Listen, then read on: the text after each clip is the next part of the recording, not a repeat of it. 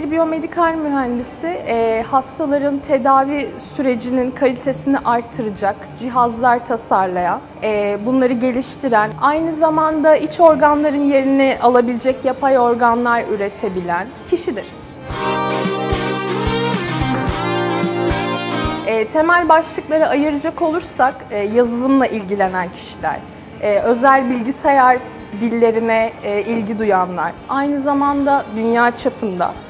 e, sağlık alanındaki gelişmelere ilgi duyan ve bu konuda fikirleri olan kişiler biyomedikal mühendisliği bölümünü tercih edebilirler.